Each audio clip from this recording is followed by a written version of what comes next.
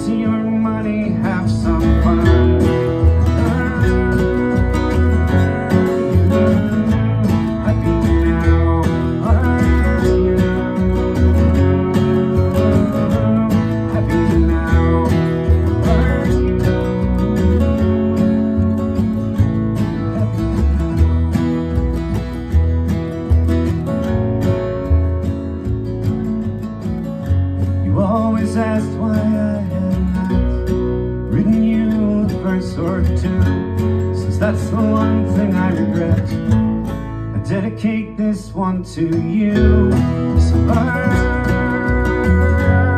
you happy now?